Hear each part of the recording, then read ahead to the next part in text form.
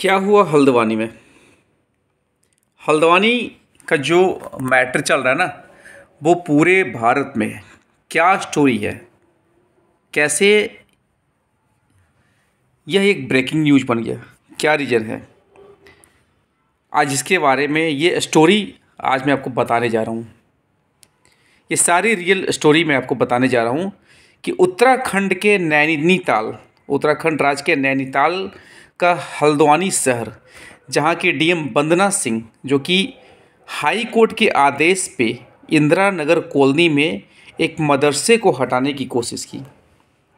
लेकिन वहाँ के लोगों को पता था कि आज के दिन में, यानी कि 8 फरवरी 2024 को टीम आएगी, प्रशासन की टीम आएगी और इस मदरसे और मस्जिद को हटाने पहुँचेगी। तो जैसे ही पहुँचे ये ऑलरेडी प्री प्लानिंग था उनके पास में, जो एंटी पार्टी थे, उनके पास में पत्थर वगैरह सारा चीज़ अवेलेबल था।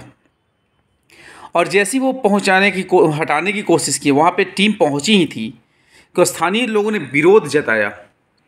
और विरोध जताया और पथराव शुरू कर दिया। स्थिति बिगड़ती चली और मकानों, दुकानों में तोड़ फोड़ आगजनी और गोलीबारी सामने घटनाएँ पूरे शहर में तनाव फैल गया।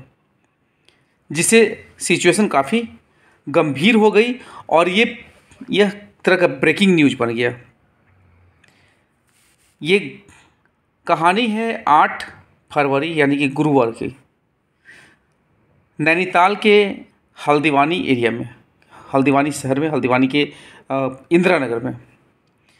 वहाँ की जो डीएम पहुँची थी, वहाँ की वंदना सिंह, जब वहाँ के डीएम वंदना सिंह पहुँची तो ये सारा ऑलरेडी प्री प्लान था क्योंकि गवर्नमेंट का आदेश भी था कि वहाँ से मदरसों को हटाना है और वहीं पे सारे लोग इसे अपना प्री प्लान करके इस तरह से शहर को में इस तरह का अंजाम दिया, घटना दिया। ये मुख्य रूप से वंदना सिंह ये भी बताई कि एक खाली संपत्ति थी, जिस पर दो इमारतें बनी हुई थी। कुछ लोग इसे मदरसा और नवाज़ स्थल करते थे, लेकिन धार्मिक संरचना के तौर पर रजिस्टर ये नहीं था। ये गवर्नमेंट के रजिस्ट्री नहीं थी, ना ही इन्हें ऐसी कोई मान्यता थी। उन्होंने बताया कि लोग इसे मलिक के बगीचे के तौर पे जानते हैं, लेकिन कागज़ों पर इसका कोई रिकॉर्ड नहीं है। और ये गवर्नमेंट का जब आदेश हो गया कि इसे हटाना है तो हटाने के क्रम में इस तरह से घटना अंजाम दिया गया, जो कि पूरे देश के लिए एक ब्रेकिंग न्यूज़ बन गया। ये घटना थी हल्द्वानी का। बहुत लोग अफवाह में फैले हुए हैं, बहुत लोग तरह तरह की इन्फॉर्मेशन का ही सुनी बात है। लेकिन ऐसा नहीं जाना, ये न्यूज़ है जो कि आपका ओरिजिनल तमाम जगहों पे दिया जा रहा है।